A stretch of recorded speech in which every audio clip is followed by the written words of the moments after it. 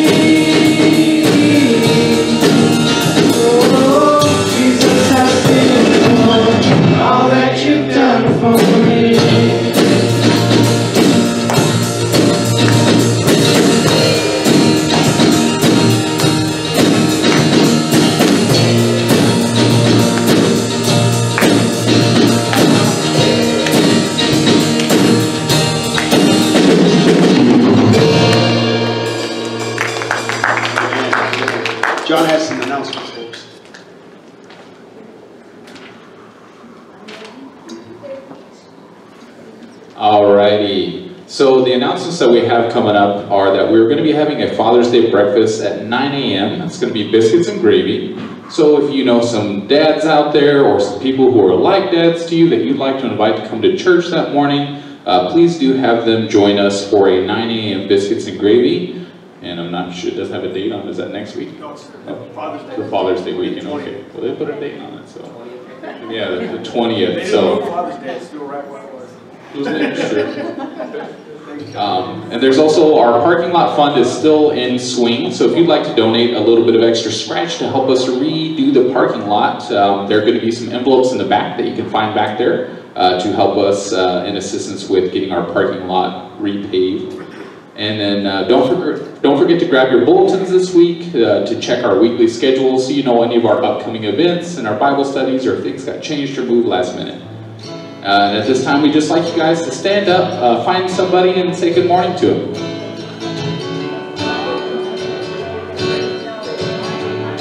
We'd like to start with, it, with, uh, do a hymn right now, one you may know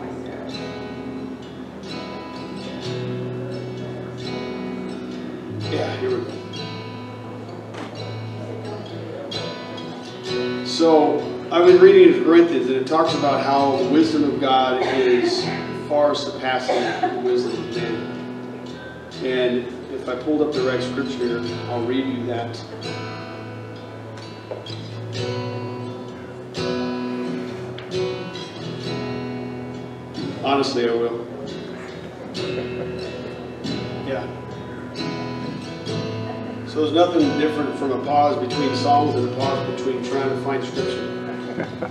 But uh, let me read you this. No, we declare God's wisdom a mystery that has been hidden and that God has disdained for our glory before time began. In God's word, He says that uh, our that His wisdom far past far things God doesn't know far not that God doesn't know anything, but God's wisdom is surpasses all that man knows. Today I was listening to the news this morning and they discovered a new metal. I mean, this is just an interesting fact. They discovered a new metal that can that can sustain 2,300 degrees without changing its molecular structure. That's an amazing thing. It's never happened before. But that's nothing compared to what God knows. We haven't even we haven't even touched the surface of what God knows. He put the sun out there that's been burning for all this time. He created each one of us. And the amazing thing is he created us and then loves us so much that he gave his only son for our lives.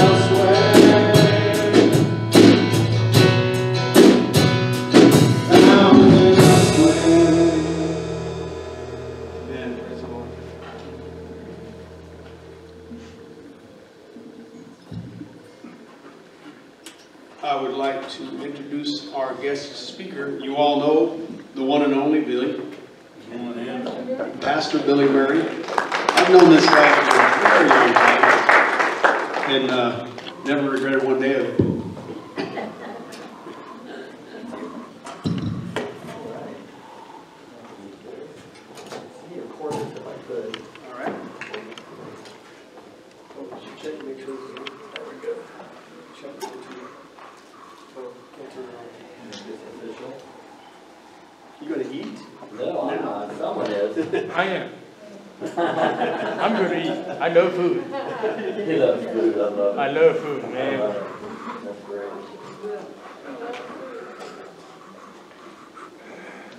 I'm gonna hide it over here because I know you. I eat it too. Yeah, really. Sure.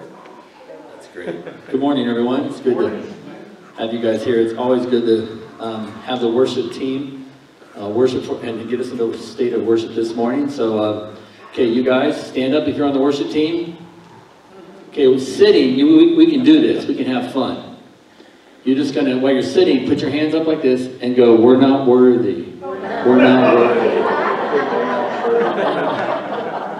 Yeah, really. No, I mean, seriously, you guys, this is, there are people in other churches that get paid to do what you guys just did. So we appreciate your ministry and, and service and everything. So that's great. Pastor Curtis and Steph are over doing the, doing the baby dedication or baptism or? Dead baby dedication, that's great. So it's a privilege whenever he gives me a call and says, hey, can you fill in? I'm like, okay. I mean, I respond like back like within seconds, you know, as fast as I find the message there. So um, we're gonna, we're, we're, um, we've been doing a series on prayer. Just holler out to me something that you got from this series of prayer over the last couple weeks. What's something that, that you learned new or it brought fresh to your mind that you hadn't thought of before? The last couple of weeks, you've been doing the prayer series. Yes, yes, ma'am. God is my Father, God is your Father. That's great. Excellent. Excellent. Yes. that he's, Jesus is, is our, part of our family, we're part of his family. Okay. Our Father, part of, we're part of the family. Excellent. Anyone else? Without ceasing. Prayer, pray, to pray without ceasing. Yeah, that's good. Well, that's my whole sermon, so I'm done. No, I'm just kidding. I'm just kidding. I'm just kidding. with, with everything going on this week, um, I didn't get any direction, so it's nice to know what happened. I was here about a month ago, four or five weeks ago. And so, uh, but anyone else, something else that you just, it's kind of, it's come to you over the last couple of weeks, doing the prayer and series on sermons? Yes, ma'am. Pray specifically. Pray specifically. Okay. That's good. Anyone else? you can trust him. You can trust God. Okay. Yes, in the back. Nothing is too big to ask for. Nothing is too big to ask for. That's right. Good. Anyone else? Prayer and thanksgiving. Prayer and Thanksgiving. Okay. Another one. answers prayers. Answers prayer. Sometimes not in our own time frame, right? Be still and know that I'm God. I mean, sometimes it takes a while. Okay. Anyone else want to jump in on this? Yes, sir. Without ceasing. To pray without ceasing. Okay. He's in the waiting, He's what? he's in the waiting. He's in the waiting. That's good. This is all excellent. What's that? The peace you get from prayer. The peace you get from through prayer, from prayer. So even if you missed the last couple weeks, we're all up to date. So that's pretty cool. Even I'm up to date. So today we're going to talk um, about prayer, but it really has. It's, it's not any one of those. So it was really kind of a cool. What better way to do this than uh, prayer is a two-way communication. Prayer is a two-way communication. It's not just us repeating prayers over and over and over and over. There has to be a response that comes back, and we have to know what that response is and how to interpret it. So what better way to do that than to find someone from this church that loves to eat? Is there anyone else that loves to eat? You too. Okay, come on up here. Anyone else? Anyone else that likes to eat? All right, as you can tell here, I have a sourdough bread, and then I have like a whole wheat light because my wife buys all that diet stuff. That, I mean, it's so, I mean, you could throw it in the air and it would float to the ground, all right, just slowly. So there's two different kinds of bread to choose from. Would anyone else like to jump in on this? Okay, here he is. All right, so here's the deal. You don't like to eat, do you? I know he, Yeah. I know he, The last time we were at Olive Garden, instead of the lunch special, he got the big meal, right? Dinner special, yeah, that's right. How many people are like that? You go for the big dinner special and not the lunch? Just one, okay. I picked the right guy for the day. All right, so since you like to eat so much and you're such a generous person, we're gonna let this guy go first. Teaching you patience. Okay, so you get to pick one of those two breads and you have to consume the whole thing while you're, no, I'm just kidding. So go ahead, take a bite, here he goes. Turn and watch him chew. Okay, good. So you pick kind of a whole wheat, kind of a light, no, no, you gotta keep it, because he'll, he'll eat that too. Now, your only flavor that you have left is sourdough. Do you- know sourdough. Oh, man, Oh, man, okay. I know sourdough. Were you kind of glad he picked that one? Yeah, Instead of the sourdough? Well, the sourdough is bigger too. yeah, it is. So the flavor and it's like volume, right? Oh, Well, let's go. Let's see it, chew it, and let everybody see you chew it. No, look, look that way. Just keep your mouth closed so we don't see food.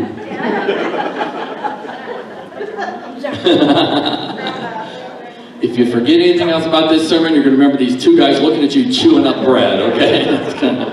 Let's give you guys a hand as they go have a seat. Okay, you can have a seat. And you get to keep the rest of the bread. All right, you're welcome.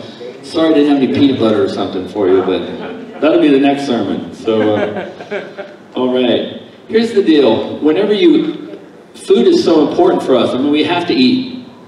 Um, anybody here a diabetic? Any diabetics in the house? All right.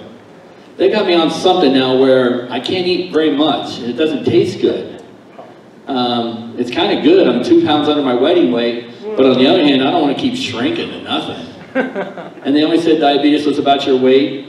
No, it's not. My levels are still all over the place. I can eat the same thing three days in a row and it'll be different. They can't figure me out. I'm like a cockroach. Because a cockroach will adapt to whatever you're trying to kill it with, so you have to keep switching. Rid-a-bug, Walmart special, boric acid, you gotta keep moving down. Anybody ever live in Florida?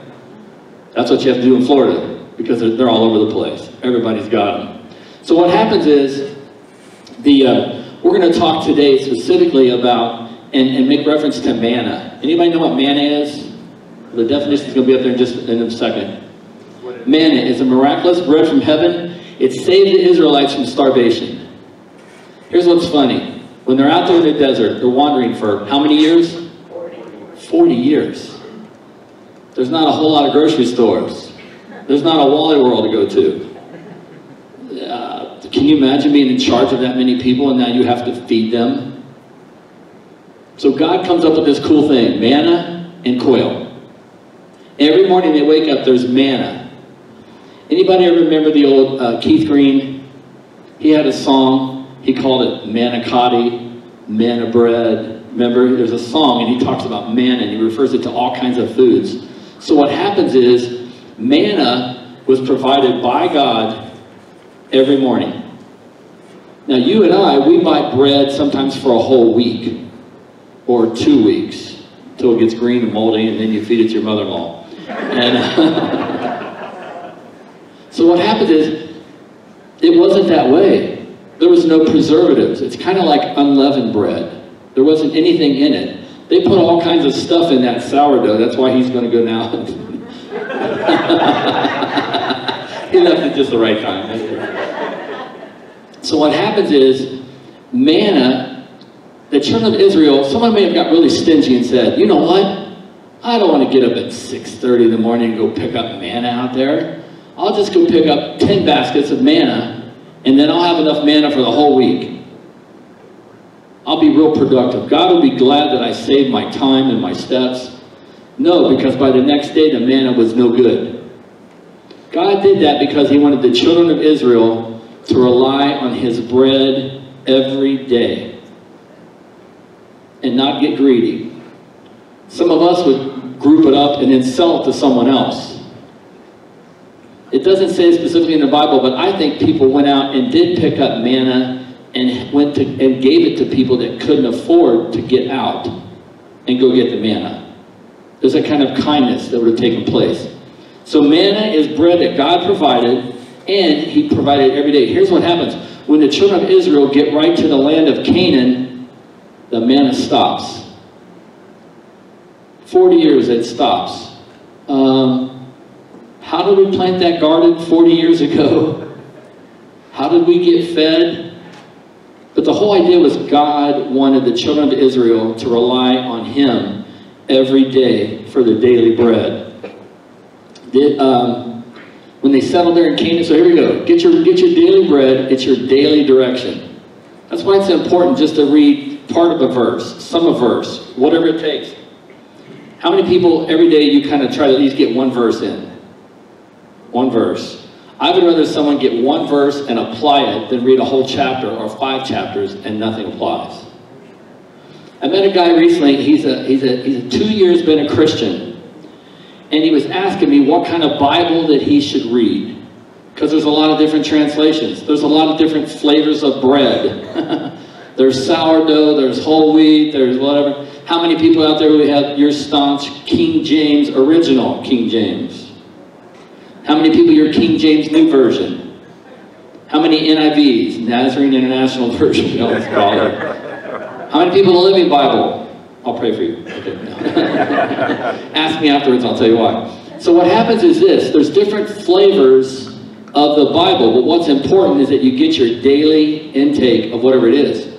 This guy that I met, he's been two years a Christian, he doesn't own a Bible. He owns one of these. I was stunned. What do you mean? He's never read a paperback Bible. But he knows as much as the Bible as people that touch the Bible.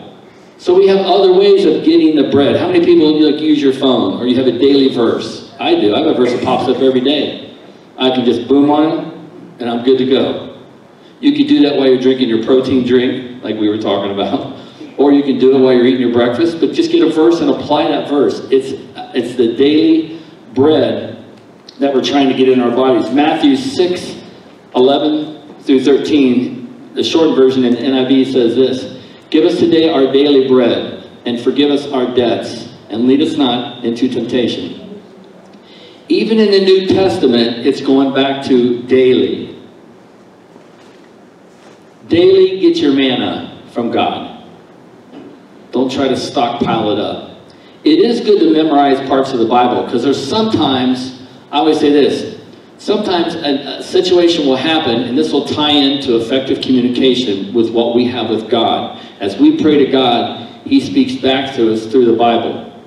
So it's important that sometimes when He speaks back to us, it's a verse that we have memorized last week. Sometimes you read the verse and that verse hits you like today. We were talking to a lady earlier before the service, and she took her Bible. You can take your Bible, and you can just go like this and stop at any point, and there will be a truth right there, and it makes sense. I have never taken a hard a hardback. I'm, going to call it the Bible a hardback. I've never taken a hardback Bible and gone like this anywhere in the Bible and stopped, and it didn't make sense. I've taken other religious doctrines from the Moonies, from the Mormons, and I've gone like this, and it makes no sense never has made sense. The Bible always makes sense. The Word of God is sharper than any two-edged sword, dividing soul and spirit. That means it's to the point. Sometimes you, you memorize that verse, and then today something happens, and you'll go, oh yeah, that verse was for me two days ago. Some days it's right now. Sometimes you read a verse, it makes no sense. God knows you need it two days from now. So you store, stockpile, warehouse. When I would go to uh, up to Snowbowl, there's a ski lift at Agassiz. Anybody ever been to the top, 11,700 feet? You could go there in the summer now and just ride it to the top and get in 50 degree weather. and maybe snowed on sometimes. I would see if I could ride that chairlift from the bottom to the top and just quote Bible verses to myself. Because I didn't want to scare the other people on the chair. And uh, so what happened is I would see if I could make it 20 minutes Try that challenge once. Just sit, get by yourself and see if you can make it 10 minutes, 5 minutes, 30 minutes of just quote Bible verses just like that. And I'm really not a memorization kind of a person. I mean, like if you ask me the Ten Commandments, I'll give them to you in a random order, but I can't, I, I don't see the page. How many of you are like visual learners? You can, if you see the Ten Commandments, you can see it on a page somewhere. She is in the back. You got A's, didn't you, in school? As long as you tried, okay. So, so what happens is, this verse says, give us our daily bread. So every day it's important for us to go to God and ask for daily bread, ask for nutrients, ask for what we need to, to, to, to, to, to serve Him that day. Sometimes, when, sometimes in the morning when I get up, I go, okay, Lord, what do you want me to do today? What do I need to do? And He'll just pop stuff into my mind about what I need to do. So, and then before I go to bed at night, I sleep really well. My wife says, like, 10 seconds, I'm gone. Because you know what? I pray to God and I say, is there something I should have done today? And He'll tell me, oh, you should have called someone to encourage him. You should have done this. You should have, and He'll give me direction. So every day, this isn't just for the sermon, this is every day. A, a, a healthy Christian will constantly go to God for daily bread. And you have to do this. Ask God for what you should do today in His direction and His power. It's not on our power. It's not up to me to generate the power. It's not even the power for me to have to, to have to earn, to have to build up to where I like you. I have to love you, even though I may not like you. Tell the person beside you, I have to love you, even though I may not like you. Unless that's your wife. Okay, unless that's your wife. Next week we'll do a series on divorce and marriage counseling. this is a cool diagram that I've used for years and years, and I found this one. It's not the exact one I use, but it kind of shows it. Here we are, that's me, I'm down there. And then up there we have God. And what happens is, we pray to God going up the right way. We pray to God this way, and then He speaks back to us through the Bible. He'll never tell you what to do that's not in the Bible. A lot of people running around going, well, God told me to do this. No, he didn't. Where's in the Bible? See, you go through and, and, and, and it's not just picking out little parts and verses. It's finding out what the true meaning is. That gentleman that had, that had never read a real Bible and wanted to go buy one, when I told him, I need to stay here to stay in the camera, don't I? Um, I asked him, I said, when you read the Bible, is it like reading a newspaper? Do you want to like read a newspaper or do you want to study for a test? Think about that for a minute. When you read the Bible, are you reading it just as if it's you're reading Life magazine or Newsweek or whatever? Or are you studying for a test? That will determine which Bible and how deep you go. I have one Bible, it's about that big. It's the whole Bible, but it has all four translations of that verse side by side. When I was explaining that to him, he's like, wow, they, they have those? That's what he needed. Because he didn't want to just read a newspaper, he wanted to study for a test. So it didn't just like, well, I sat down, I read a chapter, I'm done. Again, better to read one verse and apply it. Take it as daily bread into our lives. And so what happens is, I think about this all the time, that when I pray to God, I'm praying for answers through the Bible. If I don't eat the bread, if I'm not looking at the Bible, how do I know, how do I have any idea what God is trying to give me direction and tell me to do? So, um, oh, are you going, are you going to go get a microphone? Okay. Here's what happens. I was coming, um, when you come out of Phoenix, if you're on 89.9, it's a Christian station. When I got to the mountain coming up off the freeway, what's the mountain called? Signal Peak. Signal Peak. When I got on Signal Peak and I got to the top of it, the radio went shh. I lost the station. This just happened, you guys, like 45 minutes ago. I thought, I'm going to listen to some static for a little while. When's the last time you just listened to some static? Never. Because you got to get to another station. So what I did was, I reach over on the radio and I push scan. And it goes to 91.9. I didn't know Coolidge had a Christian station. Not only did it go to 91.9, it said, you need to buy your car from Garrett Motors. that just happened this morning. Anybody else? Was anyone else listening to 91.9 on the way to church? Did you hear him say Garrett Motors, a commercial? Do you hear it all the time? All right, that sounds good. By the way, there's some cars out in the parking lot that need to be traded in, so go see, go, go see Jim tomorrow, okay? And um, I mean, I, I was like, wow, that's pretty. Listen, no one had planned that. I didn't plan that. I didn't know there was a Coolidge Christian radio station. God wanted that in this sermon. So if it applies to you, take it and eat it. All right, sounds good. So um, I've got some help here. He's going to help me out. We have a weird piece of uh, item. That's the closest we could get. Keep. Okay, how's that? Your battery's going. Okay.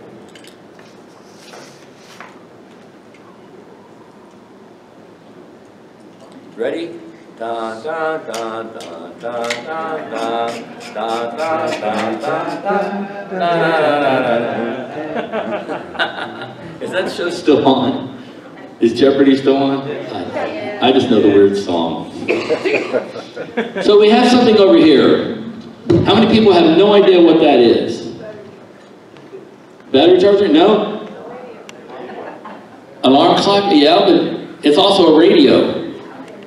People today don't know what a radio is. You ever pull someone in your car and you want to talk to the car beside you and you go like this? In a couple years from now, they're going to go, that person's crazy. What are they doing? Because you got to go, like you're pushing a button, right? Some people have no idea what a radio is. Let's go to the next. Yeah, here's a slide. It's really pretty cool. Do you realize that right now, now don't let this freak you out, especially if you're ADD or something. Right now, there are radio frequencies. Every radio station that that radio can pick up is floating around us right now. Do you hear it? We don't hear it. Here's what happens. I want to make a correlation between getting your radio tuned in for your daily bread by the Bible you read and how you understand it. So here's what happens. Let's go ahead and turn it on. With Ally, Dawn is proud to support Can't Cancel Pride and those people making a difference in the lives of LGBTQ plus people from all walks of life. All right, let's try another station. Then you gotta aspect of responsible gun ownership. I want it to be safe, legal, and regulatory. All right? Stop in the middle somewhere. As long as we don't get a little weeny weeny, we're okay. Okay? On the radio stations. Some people, when they pick up the Bible, that's all they hear. That's all they understand. I say, get to a flavor of the bread. Get to an NIV. If it takes a King James, go all the way back to King James. How many people are New American Standard? New American Standard are most correct to the original uh, Hebrew. So what happens is, find out a verse that, that hits with you. I sometimes, I sometimes like the New English Oxford. If you have a phone, you can pick like 50 different translations of the Bible. When you do pick out a Bible, if you, you, you want to find out the more theologians and the more people that help to make that translation as correct as possible. Does that make sense? Because like in the Living Bible, I, I, sometimes read the Living Bible, but in the Living Bible, it says that when Jesus went to the garden, that he sweat drops of blood in the garden. That he didn't need to go to the cross because he already shed his blood. The Living Bible was, was a paraphrase. A paraphrase is one person giving their interpretation of that flavor of Bible. I want 50 scholars. I want 100 scholars that have tried to take that verse. Because if you read it in NIV and all the other translations, it says that while he was in the garden, he prayed and fervently he sweat like drops of blood. That one word can change what really takes place. So I try to get into like Bibles that are like, you know, have some depth to it. I don't want to just read a newspaper. I want to study for a test. And so the Bible is our radio to pick up God's response to our prayers. So here's the deal. How many people pray and God sometimes doesn't answer? That happens a lot of times. In fact, if it's a timing, should I apply for this job or not apply for this job? Go ahead and apply for the job. But whether you accept that job, pray. And sometimes, if God doesn't give you a specific answer back through the Bible, then go ahead and make the best choice and God's cool with it. Does that make sense? There's people like, well, I was sitting here waiting whether I should vacuum my house. And 40 years later, I'm on a TV show called Hoarders.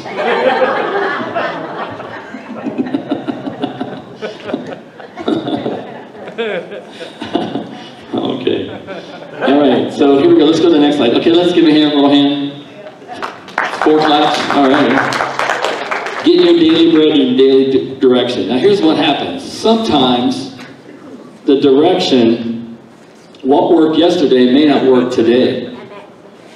That's why it's important every day to get daily bread. Get a daily update to pray and then read the Bible and then get a daily update about. Because here's what happens Moses was with those people and they're getting manna, they're getting quail, but I'm thirsty. So he prays to God, and God says, Go up and take your rod and hit this rock, and you'll get water. So guess what happens? Hits the rock, water comes out. The next day, Moses didn't go do his daily bread. He didn't go ask God what he should do. Moses thought, oh, I hit that yesterday, I got water, I'll go back today. God told him on day two to speak to the rock. But he thought he would do what, what he thought would already work. See, sometimes God, God gives us different direction for each day in what we should do. That's why daily bread is so important. When Moses hit the rock, no water came out the second day. If he would have just said and spoke to it, God would have honored that. It's God, God honoring our obedience. So what direction God gives you may change from day to day, but the important part is to get your daily bread, your daily direction. It's just really good communication. There's a really cool book. This is, uh, oh, here it is. I got this book from someone in the church whose initials are JG. You can figure it out. it's really a cool book. You can tell it's getting really pretty abused. Uh, Prayer, the mightiest force in the world, Thoughts for an Atomic Age. This, this book was written in the 1945, 19, in the 40s, 45. This book was put together. There's great truth still in this. And there's a, there's a quote, this book was written by Frank C. Laubach. And there's a quote that we're going to put up here, it'll be two screens, that really kind of ties in. People will catch the Christ in us. The greatest way to help Christ conquer the world is to saturate our own minds with Him. How do you saturate your mind? You pray to Him and you read the Bible. That's saturating your mind. If we keep Him in our thoughts persistently all day, every day, we shall radio the thoughts of Christ to the minds of countless millions all over the world. Prayer, the mightiest force. So what happens is, as we pray to God and He speaks back to us, you are in a state of consistency without ceasing. I think what you had mentioned. To pray without ceasing means to constantly pray, and God will work through every part of your body, just even your face. You ever met someone and uh, like you see their face and you're like, something different about that guy, something different about that girl. There's, they're tapped into something that this world you can't smoke, chew, or shoot up your arm. There's, there's something going on. You see, God will work through you as you daily take in. You daily look to Him for your power, your source of power, and our strength. Um, this is really a cool quote. I don't know who this guy is. I can't, I never could, bishop. So this is some, some bishop, so it's got to make it real important. I love this quote. There's only two reasons. Tell the person beside you, there's only two reasons why you're here. Number one, we're left on the earth to win souls, period. You see, as you read the Bible and you pray, God is able to use you into other people's lives. I used to call it the 30-day contract. Before I was in the ministry and I'm in car shows and pro skiing all over the United States, all that stuff's going on. I would pray that every 30 days God would send me someone that needed some truth, some daily bread that God had given me. As I prayed that prayer, pretty soon God started sending me people every two weeks. God started sending me people every week. I'd be out polishing my Cragars. How many people know what a Cragar wheel is? Okay, yeah. So I'm polishing them every week for an hour. I had little 4 inch on the front, L60 15s on the back, right? The old school that you had to polish in around the lugs because that mattered. I used to take the lugs off and polish them, and put them back on. Even. I'm out there polishing the wheel, and all of a sudden a guy pulls up in his Nova, and he comes over and he starts talking to me because he's having a rough time. I didn't have to go find the guy. God was looking for somebody in Xenia, Ohio at that day, at that moment, that had been into his word, been into his search, that he could send to that needed direction. I challenge you to do that. Pray that, pray that God would use you once a week, once a day. Not every 30 seconds, because your, your, your driveway will be full of cars, but whatever it takes. Pray that God would use you into other people's lives. Primary reasons we're here, we're left on earth is to win souls for the Lord and to determine where you will be in heaven. If you're faithful to God in small things, he'll be faithful to you in big things. And when we're faithful to him in small things, then we have the promise that someday, when we go to heaven, we don't have to question whether we'll make it. Today, if you're here and you have a question, I don't, I don't know if I stood before God and God would say to you, why should I let you into heaven? If you don't know what to say, we're going to pray in just a minute, and you can pray and you can ask God to make things right. You can tune into the right frequency of where God wants you to be. He doesn't need another me. He doesn't need another Pastor Curtis. Tell the person beside you, he doesn't need another you. he just wants you just the way you are. You don't get any special brownie points for reading the whole Bible over a weekend, and you can do it over a weekend. When we're obedient to Him, He's faithful to us in big things. And He'll take care of our problems of whatever we have, whatever that need would be. Let's just stand for a minute. We're going to have a word of prayer. Did you finish all that bread already? Who's taking him to lunch? All right, come up here real quick. I'm going to have you pray and close out for us. I just want to thank you guys again today just for sharing, whether it was the bread, the radio illustration, something. Maybe take that and then someday you'll talk to somebody, maybe this week, and they'll go, I've been praying to God and God never answers me. I was just there last Sunday here's something that I kind of learned, we could, you, and if we can share that with other people. Okay. All right. Thank you, everybody, for being here with us today. Uh, so we'd just like to take this opportunity to close in prayer. Heavenly Father, we just thank you again for today, for being here with us as we spend this time together in fellowship.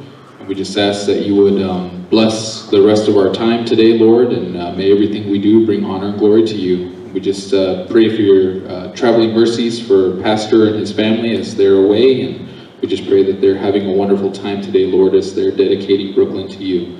And we just thank you for all that you do and all that you're going to do in our future. And may you just continue to um, keep us safe and guide us on the path that you have for us. And we just pray all these things in the precious name of your Son, Jesus Christ. Amen.